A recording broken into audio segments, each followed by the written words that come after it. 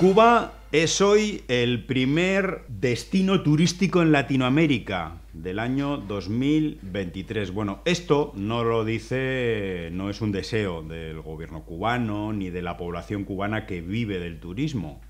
Eh, no solamente hay que decir que, una parte de la población vive directamente del sector turístico, sino que toda la población cubana vive en parte del turismo, porque el turismo eh, digamos, aporta ingresos, impuestos, etcétera, al presupuesto nacional eh, con los que se paga la educación, la salud, la seguridad social, etcétera. Es decir, el turismo es muy importante para, para el país. Y precisamente por eso el gobierno de Estados Unidos y todos los odiadores a su servicio lo atacan tanto. Bueno, pues esto que leía al principio, que Cuba es el primer destino turístico en Latinoamérica, no lo ha dicho el gobierno cubano, sino que lo ha dicho un portal especializado en turismo estadounidense que se llama TripAdvisor, muy famoso, ¿verdad? Todo el mundo conoce, lo ha utilizado. Bueno, pues este portal está apostando por la calidad de Cuba, ha encuestado a mucha gente, ha recabado muchas opiniones y dentro de la situación tan problemática que tiene, que tiene la economía cubana, que también afecta muchas veces a la calidad de los servicios turísticos, bueno, pues hay mucha gente que apuesta por Cuba. Y eso es, eh, digamos, un signo de esperanza de cara a los próximos años para la recuperación de esta importante fuente de ingresos para el pueblo cubano. ¿Qué es lo que decimos siempre? Bueno, pues el turismo, junto con otras fuentes, eh, hay que ayudar a que se recupere, hay que apostar por el turismo a Cuba porque finalmente es lo que va a servir para que todo este desabastecimiento, inflación, eh, cortes de luz, etcétera, que todavía sufre la población cubana, pues poco a poco vayan desapareciendo. Bienvenido, Lázaro. Pues estupendo, muchas felicidades a todas las amigas y amigos que nos ven en estas fechas navideñas, festivas. Felicidades y sobre todo mucha salud para que esa felicidad sea más plena. Eh, efectivamente, el, bueno, el turismo es una fuente importantísima de ingresos para la economía del país, eh, que como saben, se, bueno, se revierte en servicios sociales también muy importantes para la población. El, el turismo, en el caso de Cuba, eh, indudablemente que tiene como país caribeño, eh, la mayor de, eh, de, las Antillas, la mayor isla de las Antillas, tiene condiciones excepcionales para desarrollar el turismo, tiene grandes potencialidades en este sector y únicamente la voracidad imperialista de los Estados Unidos ha obstaculizado el que exista un flujo, digamos, regularizado y mayor de turistas. Eh, se, estima que si Estados Unidos levantara el bloqueo eh, económico, financiero y comercial, pues anualmente más de 3 millones de ciudadanos estadounidenses eh, harían a Cuba a hacer turismo, a disfrutar de las, de las bellezas que, que existen en el país. Y hay que recordar que Cuba tiene fuertes competidores en el área, en el área caribeña tiene fuertes competidores en el sector turístico que viven mayoritariamente de, este renglón. Y eh, a pesar de eso y a pesar de, la, de eh, estos competidores que llevan decenas de años, larga tradición en, el sector turístico y Cuba que recién, en comparación, recién comienza y bajo un bloqueo criminal como el que ejerce Estados Unidos contra Cuba, pues esta Trade Advisor, eh, pues eh, sitúa a Cuba como en el primer lugar, en el primer lugar, eso dice mucho, dice mucho, en el primer lugar de destino turístico en, en, la región. Eh, no cabe duda que eh, el turismo está en, una, en un, momento realmente complicado por la complicación que tiene toda, toda la, la economía del país, pero las potencialidades existen y se está desarrollando, se están construyendo hoteles eh, con, una, con una calidad tremenda, pero aparte de la construcción, hay que decir y ponderar la, calidad humana del pueblo cubano. la, la inteligencia del pueblo cubano, la cercanía, el cariño del pueblo cubano y la educación y el nivel del pueblo cubano. Mm. Y desde luego, pues la tranquilidad, la tranquilidad. Esas son las enormes ventajas que tiene eh, visitar Cuba con relación a otros destinos. Tú lo has dicho, tranquilidad, educación, nivel de instrucción, conversación. Eso yo creo que es una riqueza, poder conversar eh, sobre deporte, pero también sobre política internacional, sobre cultura, cine. Y eso, por supuesto, no es el 100% de la población cubana quien puede mantener eh, conversaciones de todos en todos esos eh, temas, pero hay un nivel general muy importante que es lo que agrada tanto al turista. Bueno, eh, un tuit de, de, la primera secretaria del Partido Comunista de Cuba en Matanzas, Suseli Morfa, dice, Cuba, puesto número uno dentro del ranking de Traveler's Choice Best del 2023 en la categoría Destinos emitido por la plataforma TripAdvisor. En la foto, el manto de Colón, salón gótico de cuevas de Bellamar. Bueno, una gran fotografía de, una cueva eh, hay un bueno hay una riqueza importante en este aspecto en Cuba en diferentes eh, partes de Cuba y hay que decir una cosa importante tú decías hay fuertes competidores para el turismo a Cuba hay estos fuertes competidores como es la República Dominicana o mm, Cancún, etcétera, se han recuperado antes de la, digamos, del batacazo que tuvo el, turismo por la pandemia. Se han recuperado antes que Cuba. Pero hay un dato muy importante. Siempre tenemos que hablar del bloqueo, pero es que en este caso es directamente eh, proporcional, vamos a decir, al, al índice de recuperación. Más del 50% de los visitantes de estos dos eh, destinos que, he mencionado son estadounidenses. ¿eh? El turismo fundamental que reciben es de Estados Unidos. Y ese turismo de Estados Unidos está prohibido para Cuba. Y el poco turismo sui generis que se permitió con la administración Obama fue cercenado, fue prohibido de nuevo por Donald Trump y ahora mismo, para viajar a Cuba desde Estados Unidos, si no eres una persona, mm, un cubano americano, nacido en, Cuba, si no eres migrante, pues sencillamente no puedes hacerlo si no es a través de un viaje muy especial con una licencia, hay que decir, con un comisario político que te vigila tus pasos y lo que haces y por supuesto no puedes gastar. Ni aquí, ni aquí, ni aquí. Tienes una lista de, de sitios donde no puedes gastar. O sea, esa es la libertad, la libertad de movimiento, ¿no? De la que nos habla. Y es, la que niegan los odiadores, la de todos estos eh, parásitos que, están lucrando y que, bueno, viven del negocio de la contrarrevolución. Y eh, no, no hablan nada de eso. No hablan nada, no lo mencionan. Ellos no tienen... Eh, por eso es que no tienen credibilidad. No tienen credibilidad y la poca gente que lo sigue pues bueno, están intoxicados con una, serie de mentiras y de manipulaciones impresionantes donde se niega esta posibilidad. Además, no quieren. Eh, hacen campañas y bueno, siguiendo un guion, el guion del Departamento de Estado, de la CIA, para que no vayan eh, personas a Cuba, que no se haga turismo en Cuba.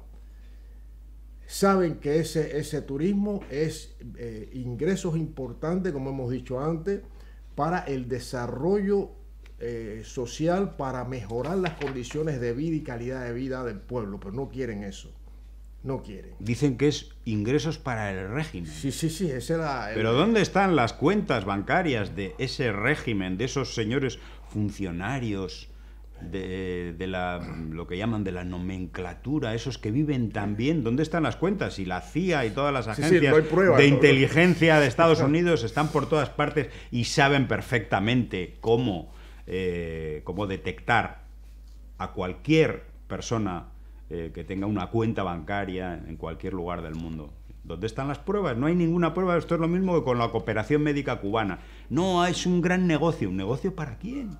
En todo caso, será una fuente de ingresos para eh, arreglar hospitales. Y en el caso del turismo es una fuente de ingresos para el presupuesto nacional que se acaba de presentar un plan una propuesta de presupuesto en el cual más de casi el 70% es de carácter social, ¿eh? desde la salud a la educación, pasando por el deporte, la cultura, etc. En eso se invierte el dinero. Un ejemplo muy directo es eh, Abaguanex, esa gran empresa del Estado cubano que sirve para la reparación y rehabilitación de La Habana Vieja. ¿Y de dónde consigue el dinero? De las cafeterías y los hoteles, donde el turista gasta su dinero en La Habana Vieja. ¿eh? Pero no, ellos tienen que inventar una retórica absolutamente mentirosa y falsa.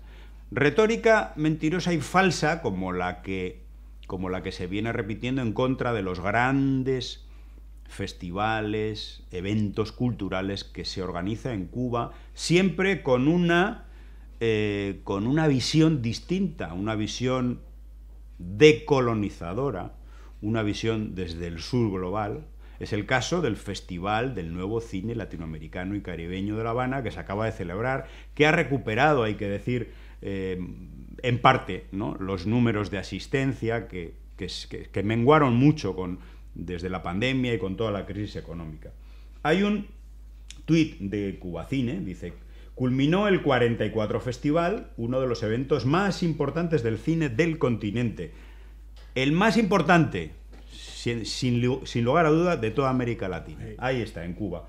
Durante ocho días tuvimos cifras como 85.000 espectadores, más de 17.000 pasaportes vendidos en taquilla y más de 18.000 descargados online. Bueno, a precios, esto sí, verdaderamente ridículos, también para la población cubana que pudo disfrutar de, películas, de proyección en, la, calle, de conciertos, ¿eh? porque hubo muchos, eh, también muchas actividades culturales paralelas. ¿Cuánto más no se podría hacer si Cuba no tuviera esa guerra impuesta por el imperialismo de los Estados Unidos. Eso es, bueno, eh, una parte importante de la cultura del país. La asistencia demuestra, demuestra que el pueblo cubano ama, caso del cine, ama el cine, quiere el cine y todas las expresiones culturales que se organizan en la isla. Se pueden organizar antes, ¿te acuerdas de los grupos que iban antes a Cuba? a Varadero, los festivales. Eso es una tradición en eh, la sociedad cubana, en el pueblo cubano, y uno de ellos, de esa tradición cultural, es el nuevo cine latinoamericano. Eh, que bueno, eh, es un éxito. Es un éxito a pesar de las dificultades, la gente participa. El pueblo cubano está vivo, está con energía, está con, con deseo de, eh, y deseo de mejorar y luchando por mejorar las condiciones de vida en medio, en medio de una guerra. Hay que recalcar esto porque hay quien no creen que la guerra es las bombas, sí, esa, es una guerra y una guerra cruel, criminal, como está sucediendo en la franja de Gaza. Es lo que les gustaría a algunos en Miami. Pero hay esta otra guerra que lleva ya más de 60 años. Eh, eh, obstaculizando ya no solo el desarrollo del país, sino una guerra, como hemos dicho en, anteriores ocasiones, que ha tenido el componente criminal del terrorismo de Estado ejercido por los Estados Unidos contra Cuba, que ha causado pues eh, 3.000, casi 3.500 muertos y 2.099 eh, discapacitados. Hmm. Eh, bueno, esto también hay que incluirlo para que... Eh, para que no se olvide. Para que no se olvide, hmm. exacto. No, claro, y la guerra económica afecta a la producción de cine, a la producción de películas, que no haya recursos en el país. Y eso también provoca muchas veces controversias, contradicciones entre cineastas e instituciones. El, tema económico y el bloqueo económico está detrás, detrás de, los, de muchos de los problemas que a veces se presentan de otra manera, con otra temática. No, no, no. Detrás de eso es, está la falta de recursos, la falta de posibilidades de rodar películas, etcétera, etcétera. Bien, voy a leer varias noticias. Lázaro, atento. ¿Qué ocurriría, qué nos dirían estos mismos medios si esto que les ocurre o que ocurre con, con protagonistas cubanos hubiera ocurrido en Cuba, no, en, no donde ha ocurrido. Uno, Sin documentos desde hace 12 años, la cubana Diosmari duerme en el aeropuerto de Mallorca. Por cierto, duerme en el aeropuerto de Mallorca no porque el gobierno cubano le, haya negado ningún papel, le haya negado la entrada en su país o le haya negado la salida de su país. No, no, esta persona se casó en su momento y resulta que ahora no tiene documentos de España y está totalmente ilegal, con millones de problemas y durmiendo en un, aeropuerto. ¿Qué dirían si realmente el gobierno cubano tuviera algo que ver con todo este asunto? Segunda noticia. Cubano acusado de intento de asesinato en Hialeah Gardens. No solamente intentó asesinar, sino también incendiar una casa. Imaginémonos que esto hubiera ocurrido en La Habana. ¿cómo nos presentarían la noticia? Porque en la noticia no se dice nada del régimen estadounidense, de las dificultades que impone eh, a la salud mental, mm, etcétera, etcétera, pero ¿qué dirían si una persona intenta asesinar a otra en La Habana? Pues a lo mejor nos lo justificarían un poco. Tercera, cubana trans fallece en Minneapolis tras recibir una herida de bala. Y si la cubana trans herida y después, mm, o sea, que muere eh, tras las heridas de bala, hubiera estado residiendo en su país, ¿cómo nos presentarían esta noticia? A lo mejor nos hablarían de transfobia homofobia, crímenes de odio, porque en, estas, en esta noticia y en ninguna de las dos anteriores, que por cierto son noticias de este entramado de contrarrevolución mediática financiada gran parte por el gobierno de Estados Unidos, en ninguno de estos medios, que tienen la palabra Cuba, varios de ellos en su nombre, en ninguno ¿eh? se eh, menciona nada de de que hay transfobia en Estados Unidos o que, en el caso de España, del Estado español, que una persona tiene que dormir en un aeropuerto porque no tiene los papeles. Y sentimos mucho, ¿no? El caso de esta, de esta cubana por, bueno, un ser humano que lleva 12 años da pena y es eh, situaciones en las que se puede encontrar cualquier cubano, cubana o inmigrante en el capitalismo de derechos humanos y democracia. Realmente, ¿cuántas veces hemos oído a lo largo de tantos años? Porque claro, nosotros no llevamos cuatro días hablando de, las temáticas cubanas, ¿no? Antes que se decía que el gobierno cubano no dejaba viajar a la gente, ah, no dejaba salir de Cuba, etcétera. Cuando quien no dejaba fundamentalmente salir de Cuba y viajar a la gente eran los mismos, los mismos que ahora no le dan papeles a esta persona. Son los mismos, los mismos. Porque cuando existía un, eh, la tarjeta blanca, eh, el, permiso de salida, sobre todo en los últimos años, prácticamente a nadie, se lo negaba. Exactamente. Era un proceso más, burocrático, lento, lo que tú quieras. Eso ya se eliminó. Ya no hay ninguna excusa para esconder el verdadero problema, que es que a la gente no le dan el visado de entrada, en este caso, a territorio español, o incluso cuando ya, ya le han dado, o sea, o ya está en territorio español, incluso casada, no se sabe por qué problema, pero no tiene ni siquiera el derecho a tener la nacionalidad española o lo que sea para, para, para poder vivir normalmente. Tengo que decir que aquí que eso mismo, yo tengo cuatro familiares que le, denegaron la visa para venir de visita, para ir de venir de visita al Estado español. Y claro, la campaña sistemática, intensa que se... Mira, de eso, de eso no, habíamos, no lo habíamos mencionado contra que en Cuba no puede salir, que es una cárcel, que el que sale es que se escapó, ahí viene el doble rasero, la manipulación de la información. No, no decían, nunca habían dicho, posiblemente se siga con esa línea ¿no? de, de esa matriz de opinión que tratan de imponer a, las personas. No dicen que los gobiernos a los cuales, los gobiernos de los países a los cuales los migrantes deseaban eh, ir, no daban la visa no daban la visa. Y un poco, un poco no, lo mismo en el caso de Estados Unidos, que siempre sistemáticamente violó los acuerdos migratorios establecidos con Cuba desde el gobierno de, Carter, si mal no, no recuerdo, quizás, sí, de Carter, con esas 20.000 visas que mm, fue en, ese, en la administración Carter fue que se eh, crearon las, eh, digamos, lo, que viene a ser consulado, las sesiones de intereses de Estados Unidos en La Habana y sesión de intereses de Cuba en Washington. Pues bueno, Estados Unidos violaba los acuerdos eso. Y entonces que daban las visas 700, 800, lo hemos comentado en anteriores ocasiones, y eso provocaba una inmigración ilegal desregularizada totalmente y expuesta a, las, a, los peligros de, ese tipo de migración. Y eso lo cogían a su vez como campaña propagandística, propagandística contra Cuba, eh, que bueno, tantos que han muerto en, eh, escapando del comunismo, escapando del régimen, eh, bueno, pero no hablaban de esa situación. Negaban la visa y el que quería bueno, eh, ir a Estados Unidos, reunirse con su familia, lo que sea, pues tenía que coger una vía ilegal siempre peligrosa y siempre a merced de los traficantes de, seres humanos. Bueno, ¿no hay libertad religiosa en Cuba?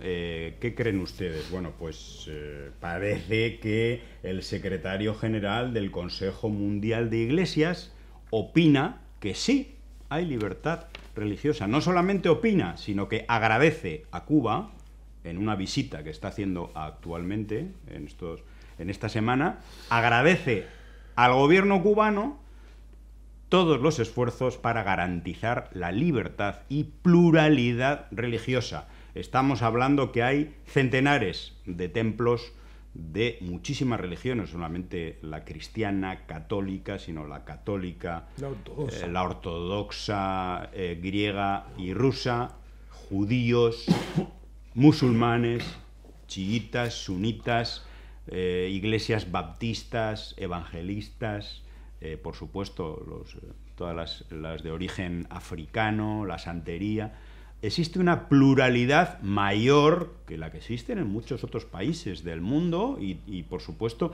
de América Latina. Pero luego el Departamento de, Estado y todos estos odiadores de la ultraderecha fascista de Miami nos vienen diciendo que en Cuba se viola la libertad religiosa. Porque resulta que hay algún cura o alguien que no se sabe con por qué motivo o con qué objetivo concreto, eh, pues viene diciendo que no existe o, que, que, ha tenido determinado problema. Bueno, yo no sé qué problema habrá tenido, pero desde luego la libertad, la libertad religiosa y pluralidad en todas sus vertientes existe en Cuba desde hace muchos años y está protegida también por la Constitución, donde se protege no solamente el derecho a tener cualquier tipo de creencia, sino también y esto es una novedad, por cierto, en las constituciones, a no tenerlas. El derecho a ser ateo. Ese, derecho también existe. Sí, sí, pero eh, bueno, es, una infamia extraordinaria la que eh, protagonizan esta, estas gentusas, estos odiadores, estos sinvergüenzas que, eh, bueno, siguen a, a pie, ahí con mucha fidelidad eh, el mandato, el guion de Departamento de Estabilidad. Esta gente, realmente es difícil creer que tengan, que hablen por sí mismos y que tengan la libertad para, para ser decente y para hablar la verdad. Verdades no van a hablar nunca, están eh, eh, dentro de esa maquinaria diabólica que, que hace que personas nacidas en Cuba incluso pidan expresamente a un presidente de los Estados Unidos, nada más y nada menos, que invadan al país que le vio nacer. Ya por ahí hay que ver la degeneración eh, que tienen todas estas personas que eh, están llenos de odio y no le importa para nada el pueblo cubano. No hay una preocupación real para el pueblo cubano. Eso de libertad, lo que no, libertad, libertad, lo que están pidiendo es la esclavitud del pueblo cubano. Y desde luego ellos eh, detrás del micrófono, en, su, en su despacho, en su habitación, detrás del micrófono. Y cuando digo, bueno, es eso que piden invasiones, pues que den el ejemplo y, que pidan ir en la primera línea de combate, que, pidan ir en la vanguardia. A ver, entonces, bueno, aquí eh, el, de verdad que esto eh, clama, yo no sé qué calificativo ponerle, porque si hay un país en la región, América Latina y el Caribe, con, con mayor libertad religiosa, incluso hasta la iglesia ortodoxa está ahí, es un ejemplo. Todos los cultos sincréticos de, la religión de origen africano están ahí y están sincretizados con dentro de las religiones, eh, digamos, católicas, están todos, todos, con una práctica, hay quien, incluso en la iglesia pentecostal, el, sí, vas a los barrios y hay muchas iglesias diversas. Sí, sí, sí, diversas. Sitios. Desde luego que Cuba siempre eh, ha, predominado, o sea, un poco más, eh, la religión de, africana. Es una realidad que la practica prácticamente la mayoría de la población. Y la Iglesia Católica, que nunca tuvo un peso, digamos, ante la revolución, del triunfo de la revolución, nunca tuvo un peso importante o decisorio como sí tiene en otros países de, la región, de América Latina y el Caribe, sobre todo Centroamérica y Sur. Eh, pero la Iglesia Católica también tiene, bueno, está viva, está, eh, funciona, eh, tiene sus, sus feligreses con normalidad, todo con normalidad. Lo que pasa es que tienen la costumbre eh, y los medios eh, de manipulación al servicio de las políticas del imperialismo contra Cuba tienen la costumbre de que un caso, un hecho, ya lo, hacen una, una generalidad de un hecho particular, de que, bueno, si eh, se cayó un gato de, un tejado, de un séptimo piso. Se maltrata a los animales. Se maltrata a los animales y cosas de esas. Cosas de esas. o sea, un hecho aislado dentro del país, lo hacen. Bueno, hay, decenas de medios pagados por el gobierno de Estados Unidos para hacer de la caída del gato un maltrato animal generalizado en el país. Sí, sí, sí, no, incluso aunque el gato caiga como siempre de pie. Pero bueno, es, esa es la realidad que, se está viviendo. Entonces, todo manipulado y desde luego ni una palabra, ni una línea de condena, ni un editorial contra las balaceras que ocurren en casi prácticamente en todas las ciudades de todos los estados de los Estados Unidos, aparte de la, de la miseria y la, la exclusión social en la que viven más de 40 millones, 47 aproximadamente millones de seres humanos en todas las ciudades de los Estados Unidos. Hay casos que son, bueno, tremendo. Dice, bueno, este es el país de la democracia, de los derechos humanos, el país más rico. Sí, el, más rico sí es. Y eso es lo que estos odiadores quieren para Cuba. no, no. Bueno, pues una de estas personas que andaba pidiendo libertad en Cuba y que andaba provocando a los agentes de la policía todo el día, insultándoles, etcétera, que llegó, pues bueno, llegó a la cárcel que incluso desde la cárcel hacía, eh, enviaba vídeos denunciando el maltrato, etcétera, el cárcel en Cuba. Eh, por supuesto, con todo este teatrillo, obtiene su asilo político en Estados Unidos, se va a Estados Unidos, emigra. Pero no se, no se fue para Haití, chico.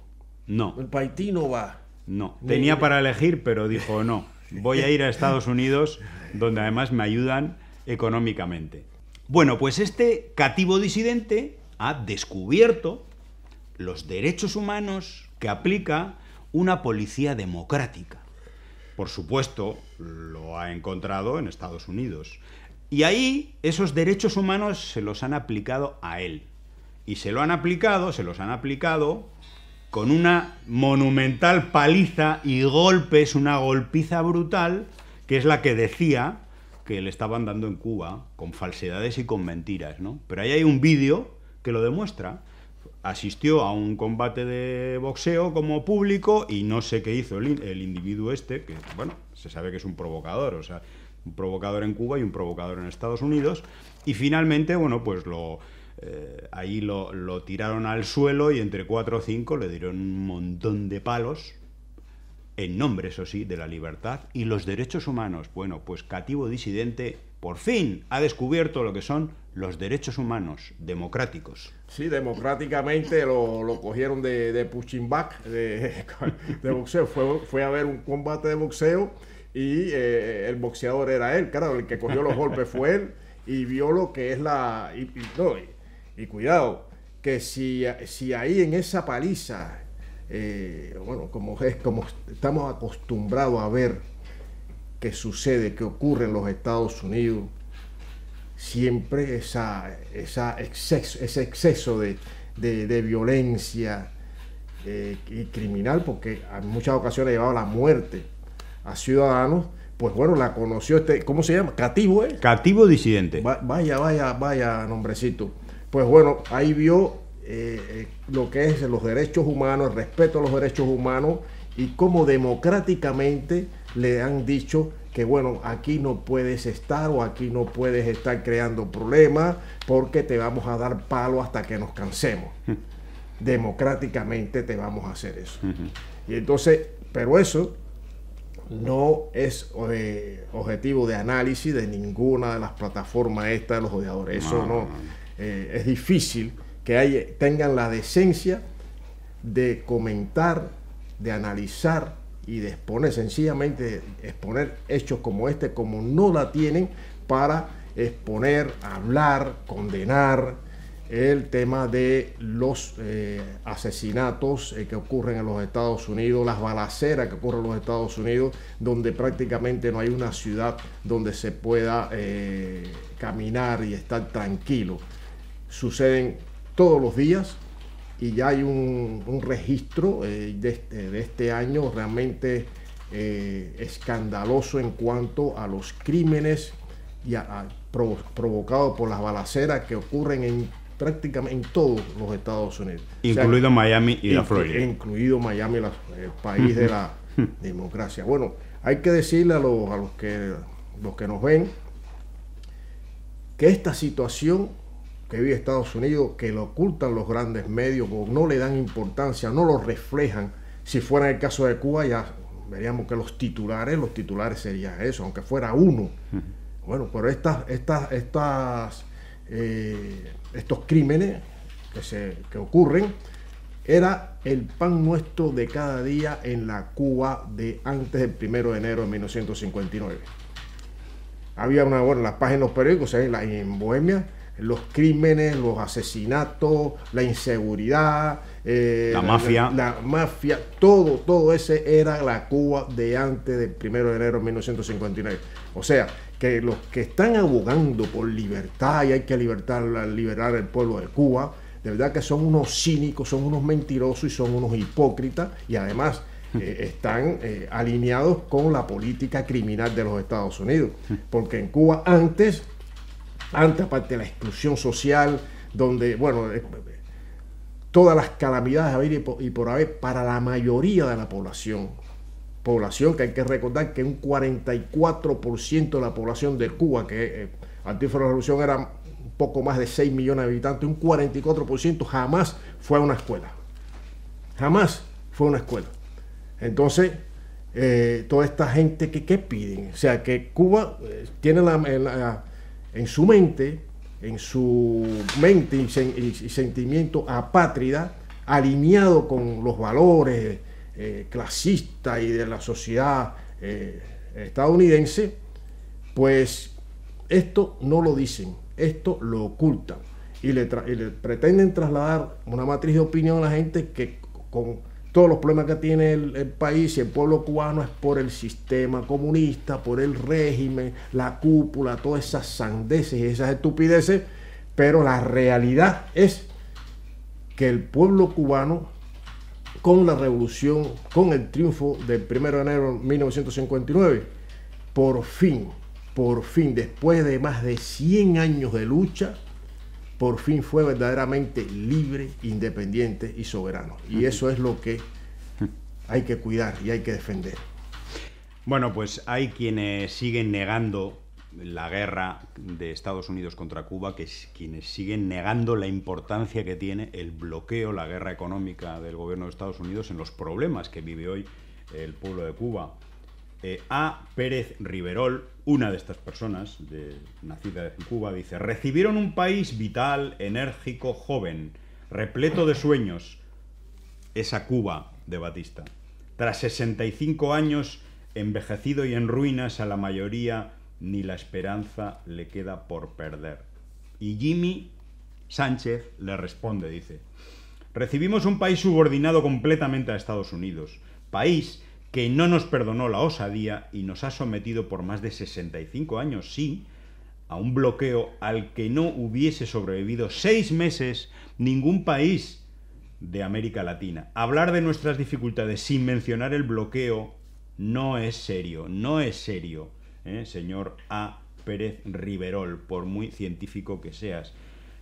No es serio hablar de los problemas de Cuba sin hablar o hablar, por ejemplo, de la baja del turismo sin hablar de todas las operaciones contra el turismo del gobierno de Estados Unidos, sin hablar de los 3 millones de turistas de Estados Unidos que podrían visitar Cuba y el dinero que dejarían, ¿eh? sin hablar de los millones de dólares que deja de ingresar Cuba por la venta de productos biofarmacéuticos o los miles eh, de millones que recibía antes el sistema de salud eh, de Cuba gracias a acuerdos de cooperación médica que fueron cercenados y destruidos por el gobierno de Donald Trump, etcétera, etcétera, etcétera, ley Helms-Burton, etcétera, etcétera. Bueno, y Eugenio Martínez, este gran diplomático cubano, dice, Estados Unidos sin vergüenza. Seguimos hablando del bloqueo realmente, dice. A la izquierda un fragmento del informe sobre terrorismo del Departamento de Estado publicado hace un mes. Dice, eh, bueno, eh, el, gobierno cubano no respondió formalmente a la extradición de los líderes del, eh, del ELN, del Ejército de Liberación Nacional, guerrilla de Colombia, como le pidió el gobierno de Colombia de ultraderecha de Iván Duque hace unos años, cuando rompió las negociaciones que amparaba, avalaba y, facilitaba a Cuba. Cuba era una especie de, elemento neutral que, ponía el terreno de juego y entonces uno, el, gobierno de Colombia dice, no, hasta aquí hemos llegado y usted me tiene que entregar a estos señores. Bueno, Cuba dijo, no, no, se, no estaríamos rompiendo y violando lo firmado y lo firmado dice que en caso de ruptura, en ningún caso se entrega a la otra parte. Bueno, y dice, y a la, y a la derecha pone una foto, las dos personas que supuestamente Cuba debió entregar. Guerrilleros del ELN hoy, saludando a la canciller de México antes de llegar a seis acuerdos con el gobierno de Colombia en la Ciudad de México. Es decir, que hoy en día el gobierno de Colombia, que ya no ha pedido ninguna entrega de estos guerrilleros negocia con ellos, llega a una serie de acuerdos, esta guerrilla no actúa, eh, etcétera, eh, pero Cuba sigue estando en la misma lista de países terroristas por no haber entregado a unos guerrilleros que hoy el gobierno de Colombia no reclama. Y consecuencia de todo ello está que Cuba tiene infinitos problemas para comprar medicamentos y alimentos en el mercado internacional porque no puede hacer los pagos a través del sistema bancario internacional que paraliza todas las transferencias. Y que alguien me diga y me explique y me justifique todo esto. ¿eh? Por favor. No, pero es que hay que ser un mal nacido para, para no mencionar siquiera esta, esta realidad y atacar eh, como lo hacen diariamente, intoxican y manipulan y engañan sistemáticamente todos los días a una parte del pueblo o a sus seguidores, pero no mencionan nada de esto, que es una realidad. Y es contra la cual el gobierno revolucionario lucha cada día, buscando las vías para ir mejorando las condiciones de vida del pueblo cubano. Como dice, dijo el comandante jefe Fidel, el general de ejército Raúl Castro, ningún, el mismo presidente Miguel Díaz Canel, ningún cubano quedará desamparado en medio de una guerra. Estamos hablando de una guerra. En medio de una guerra, ningún cubano cubana quedará desamparado. Hmm. ¿Cómo se llama ese individuo que habla? ¿Qué? A. Pérez Riverol es un científico cubano formado por Cuba y por la Revolución Pero- Cubana, pero- pero sus instituciones científicas, que dice estas cosas. Pero ese científico tendrá Científico, 15 años sí. o 20 años. no, pues tendrá 50 o... Ah, sí, por ahí. 20 años. Pero parece un muchacho, ¿no? Por, por lo que dice. Bueno, le voy a decir al, al científico este unos datos, ¿no? Y al público.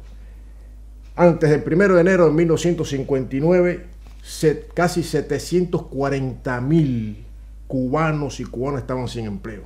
Era el país vital, enérgico y joven. Así, bueno, 3 millones de cubanos y cubanas carecían de electricidad, de una población de poco más de 6 millones. Era el, era el país repleto de sueños. Ay, mira.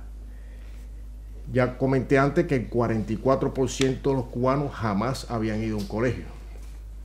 60% de obreros agrícolas vivían en bohíos. 400.000 familias urbanas vivían en barracones. El 85% carecía de servicios de agua. El índice de, mortalidad infantil era, al triunfo de la revolución, era de 60 por cada mil nacidos vivos. Entre los años 1952 y 1958, a la morgue de La Habana llegaban, llegaron más de 600 jóvenes torturados. Jóvenes torturados. Esa era la Cuba, así, así por encima, la Cuba Joven y vital joven y con y vital. sueño y que tenía Sí, sueños de, sí. de este individuo. No, y como dice uno, próspera y No, no, todo- pero toda esa- qué una prosperidad tremenda. ¿eh? Esa es la realidad. Y una realidad que no se puede negar. Una realidad que está en, en- en la mente, en la memoria y en, y en el corazón de los cubanos y por eso es que el pueblo defiende un proyecto con todas las dificultades, pero la mayoría del pueblo defiende la revolución porque sabe que es independencia, es soberanía, es verdadera libertad y es también verdadero ejercicio democrático, no la, falsa democracia que nos quieren imponer. frente a tanta falsedad, cinismo como el de este individuo, hay que actuar con mucha solidaridad y apoyando a Cuba en cosas concretas de su economía, fomentando el turismo, también las visitas al país. Eh, y hay otras muchas formas de ayudar. Hay organizaciones de solidaridad que siguen enviando contenedores de apoyo con material médico, eh, de- de- educativo, etcétera, a las escuelas, a los hospitales de Cuba. Ahí está el proyecto Hormigas Solidarias de la emigración cubana patriótica en el Estado español. Eh, ahí está, Puentes de Amor en Estados Unidos y muchísimos otros eh, proyectos individuales, colectivos, desde la emigración, desde la solidaridad. Eh, bueno, pues así es como se, como se apoya. Están los proyectos de cooperación que llevan a cabo organizaciones, es el caso en el Movimiento de Solidaridad con Cuba de la Asociación Euskadi Cuba y otras, la Asociación Valenciana José Martí de Solidaridad con Cuba, la Asociación de Solidaridad eh, Ernesto Guevara de Cataluña. la Defensa en Cuba en Cataluña, tantísimas otras. Bueno, esta es la manera en la que se apoya realmente al pueblo cubano. ¿Y qué es lo que hace desde la acera de enfrente, desde la orilla de enfrente, desde nuestros adversarios o enemigos? Se pongan el adjetivo que quieran. Bueno, pues eh, lo que hacen es apoyar el bloqueo, apoyar la guerra y luego, eso sí, informar cada detalle de cada uno de los problemas que causa ese bloqueo que ellos y ellas apoyan. Vergonzoso y cínico, más no se puede ser. No, y, y una, y una, ya un apunte, ellos hablan que toda la culpa es del comunismo.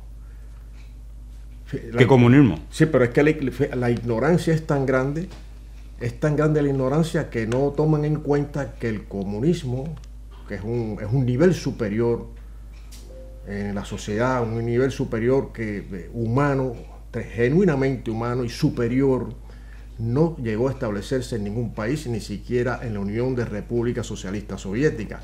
Por tanto, Cuba, el pueblo cubano, no ha vivido en el comunismo, no vive en el comunismo. Es que Estados Unidos no ha dejado ese, ese, eso, eso, ese paso adelante de más desarrollo y de más eh, equidad y justicia social para... Ni siquiera, ni siquiera deja construir el socialismo, Sí. porque lo que hace Cuba es Sí. vivir en una economía de guerra que no- con orientación socialista, pero no Sí, puede. Pero, pero el, el comunismo, comunismo, es que no ha vivido el comunismo. Hmm. Y eso muy bien lo dejó, bien, eh, bueno, clarificó mucho y lo, lo expuso muy bien eh, compañero nuestro Tadeo, también colaborador de este. Tadeo medio. Tapanes. Tadeo Tapanes. Poeta e historiador de Trinidad. Poeta, historiador. eh, bueno, lo dejó bien claro. O sea, es que no ha vivido el comunismo. Él dice, no, el comunismo, el comunismo. Pero es que no ha vivido el comunismo en Estados Unidos. No ha dejado, no ha dejado ese paso de avance. o- o ha, pu- ha puesto y sigue poniendo todos los obstáculos habido por haber para eh, borrar eh, ese ejemplo del área eh, latinoamericana y caribeña. Bueno, pues desde aquí seguiremos apoyando y visibilizando todas las labores de solidaridad frente al bloqueo de Estados Unidos contra Cuba. Mucha solidaridad y hasta el próximo programa. Hasta el próximo.